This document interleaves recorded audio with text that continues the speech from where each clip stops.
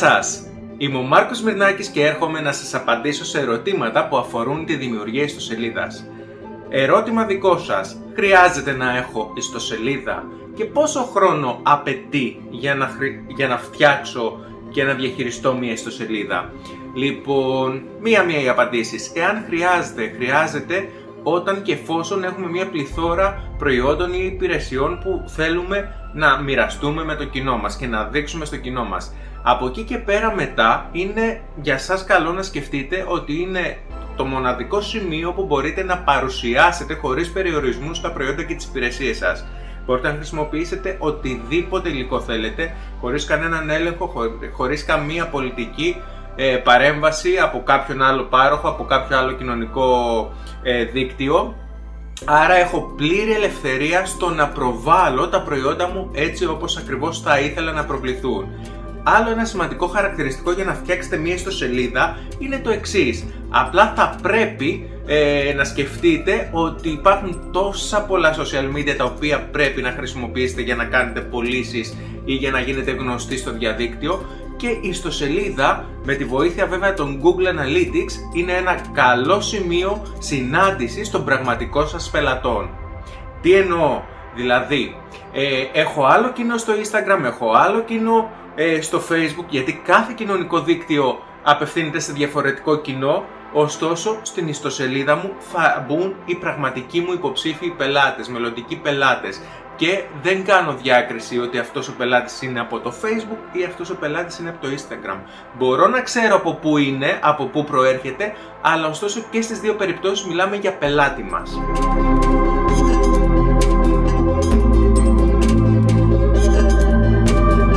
Όσο αφορά την προετοιμασία του περιεχομένου μιας ιστοσελίδας θέλει μεγάλη προσοχή. Είναι η βιτρίνα μας, είναι το μάλλον λάθος. Η βιτρίνα μας είναι τα κοινωνικά δίκτυα.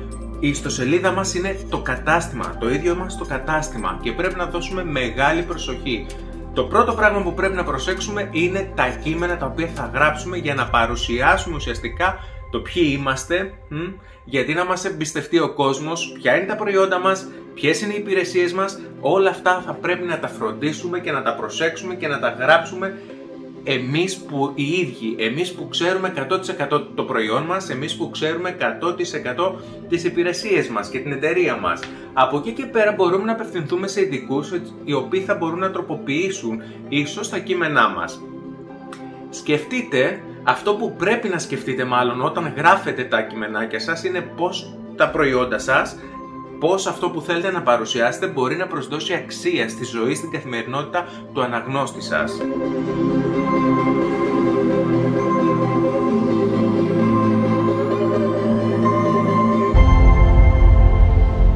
Το μυστικό για να δημιουργήσουμε ένα πετυχημένο περιεχόμενο στην ιστοσελίδα μας είναι να είναι ελκυστικά τα κείμενά μας.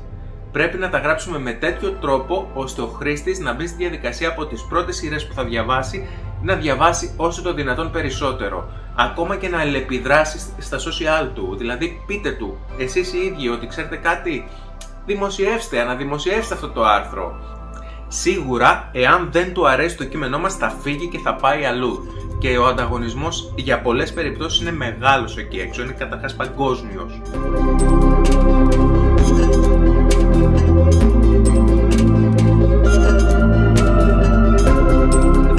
Να αποκλείσω να χρησιμοποιήσω πολυμέσα σε μια εποχή τέτοια όπου τα κινητά σου δίνουν μια με τεράστια ευκολία στο να παράγεις βίντεο, φωτογραφίες, να επεξεργαστείς πρέπει σίγουρα στην ιστοσελίδα μου να έχω κάτι από όλα αυτά. Μια φωτογραφία ωραία, ένα γραφικό ωραίο, ένα βίντεο 360, οτιδήποτε θέλω και το οποίο θα δώσει περισσότερο κίνητρο στο χρήστη να αλληλεπιδράσει, να κάτσει να προσέξει αυτό που θέλω να του προσφέρω να διαβάσει.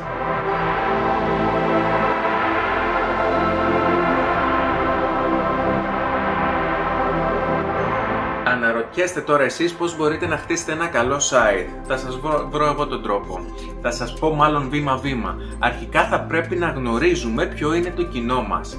Αφού καταλάβουμε ποιο είναι το κοινό μας, αρχίζουμε και παράγουμε πρωτογενές περιεχόμενο. Και τι εννοώ πρωτογενές, δεν είναι ωραίο να πάω να βρω μια εταιρεία ε, ανταγωνίστρια και να της κλέψω τα κείμενα, τις φωτογραφίες, τα βίντεο. Θα προσπαθήσω να φτιάξω με το δικό μου τρόπο, με το δικό μου ύφος και πάντα θα υπολογίζω το κοινό στο οποίο θέλω να απευθυνθώ. Από εκεί και πέρα θα πρέπει να φροντίσω ώστε η δομή του site και η πλοήγηση μέσα σε αυτό να είναι εύκολη για τον αναγνώστη. Θα με βοηθήσει πάρα πολύ το μενού, μια μηχανή αναζήτησης, έτσι. Όλα αυτά εδώ θα βοηθήσουν για να μπει ο χρήστης και να βρει αυτό που θέλει στη σελίδα μου.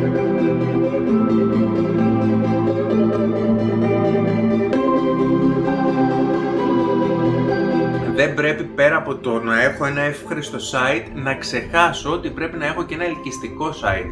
Άρα σίγουρα πρέπει να, να φροντίσω συγγνώμη, και την εμφάνιση του site. Αν δεν μπορώ ο ίδιος πάω σε κάποιον ειδικό έτσι ώστε να μου φτιάξει μια μακετούλα να τη βάλω μπροστά έτσι, ένα slideshow ή να μου φτιάξει ένα βίντεο, ένα εταιρικό βίντεο παρουσίασης και να το έχω μπροστά. Ξέρετε πόσο εντυπωσιακό θα είναι αυτό και τι άλλη επίδραση θα είχε; Ειδικά αν είναι και στο κανάλι μου στο YouTube θα μπορούσα να το συνδέσω και να παίζει απευθείας μέσα από το YouTube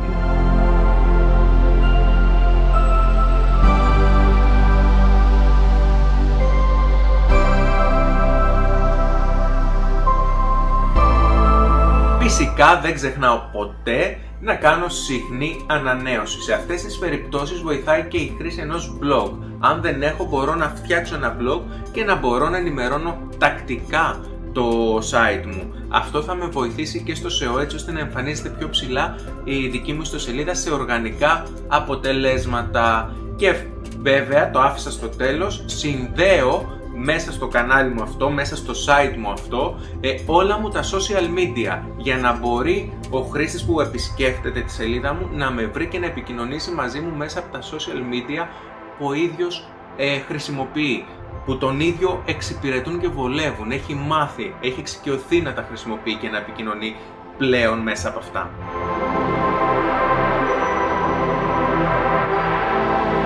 Περιεχόμενο μιας σελίδας μπορεί να είναι κείμενο, μπορεί να είναι φωτογραφίες όπως είπαμε, μπορεί να είναι βίντεο, δηλαδή πολύ μέσα, αλλά πέρα από αυτό μπορεί να είναι η εταιρική μας παρουσίαση, μπορεί να είναι τα προϊόντα μας, έτσι, ε, μπορεί να είναι ένα ολόκληρο e-shop. Από εκεί και πέρα πρέπει να φροντίσω να το φτιάξω με τέτοιο τρόπο ώστε ό,τι μπορεί να είναι, να είναι εύκολο στο χρήστη να το βρει.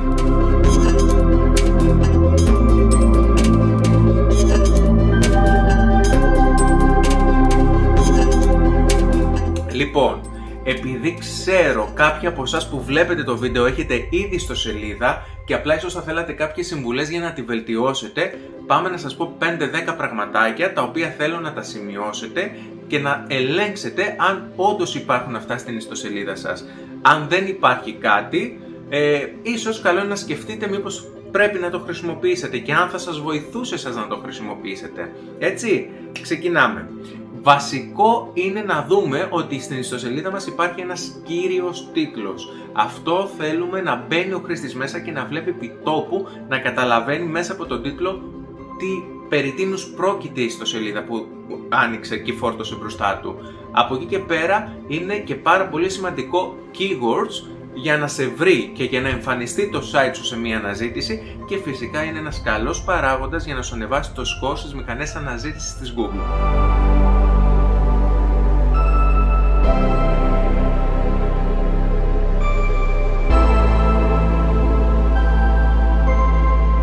Σκεφτείτε αν ο ιστότοπός σας ε, αναφέρει με σαφήνεια ουσιαστικά ε, ποια είναι τα ωφέλη και γιατί κάποιος να προτιμήσει το δικό σας e-shop ή τη δική σας υπηρεσία ή το δικό σας προϊόν. Έτσι, ποια είναι τα πλεονεκτήματά σας έναντι του ανταγωνισμού. Δώστε τα, δώστε τα μπροστά στην αρχική μου να κάνει μπαμ. Όχι κατέβα το ολόκληρο γιατί κανείς δεν θα μπει στη διαδικασία να το διαβάσει, αλλά ένα, δύο, τρία πραγματάκια καλό θα ήταν να τα δώσετε.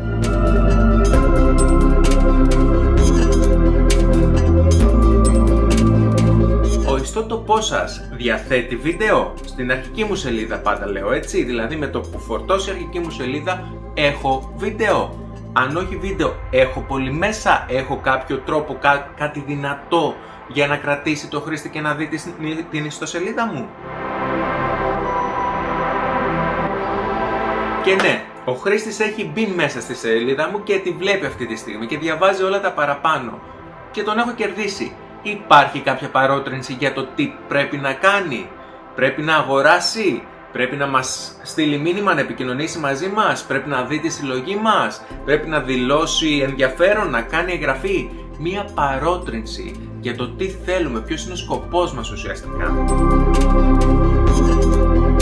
Πόσο εύκολο είναι κάποιος να εντοπίσει μέσα στην ιστοσελίδα μας τα στοιχεία επικοινωνίας; Μ; Σκεφτείτε ότι το κοινό μου μπορεί να είναι νεανικό και να είναι εξοικειωμένο με το που βρίσκονται τα στοιχεία επικοινωνίας, αλλά κάποιος που δεν είναι γνώστης, ειδικά πλέον σήμερα στις μέρες μας που πολλοί κόσμος μεγαλύτερης ηλικίας που δεν είναι εξοικειωμένος αναγκάζεται να χρησιμοποιήσει την online αγορά, πρέπει να του δώσω τα στοιχεία επικοινωνίας μου για να μπορεί εύκολα, αν δεν καταφέρει μέσα από το e-shop, να με καλέσει και να μου ζητήσει το προϊόν το οποίο θέλει. Σκεφτείτε ποιο είναι το πιο σημαντικό πράγμα που θα θέλατε να βλέπει ένας χρήστης που επισκέπτεται την ιστοσελίδα σας. Και μπείτε στη διαδικασία και κάντε κι εσείς ένα check. Το βλέπετε εσείς αυτό; Το βλέπετε; Θέλετε να δείξετε ότι έχετε ποιοτικά προϊόντα, φαίνεται από τη σελίδα σας, θέλετε να δείξετε ότι έχετε οικονομικά, οικολογικά, τι, τι είναι αυτό που θέλετε να ξεχωρίσετε; Και μπείτε, τσεκάρετε το και ενημερώστε με έτσι. Και φυσικά για το τέλος άφησα το πιο σημαντικό, το οποίο είναι να μπορεί η σελίδα μου να παίξει σε mobile, σε κινητά. Πρέπει να έχω καλό σκορ σε μια πλοήγηση που θα γίνει μέσα από κινητό. Είναι πάρα πολύ σημαντικό γιατί όλοι οι χρήστες ε, χρησιμοποιούν πλέον το κινητό τους για να ψάξουν online ε, προϊόντα, αγαθά, υπηρεσίες και οτιδήποτε άλλο. Λοιπόν, κάπου εδώ τελειώνει αυτό το βίντεο, το οποίο έχει να κάνει με την ιστοσελίδα. Ε, κάντε την εγγραφή σας, στείλτε μου ερωτήματα αν θέλετε κάποιο άλλο βιντεάκι, ε, να μου δώσετε και εμένα λίγη έμπνευση για το τι να φτιάξω ή στο επανειδήν σας χαιρετώ.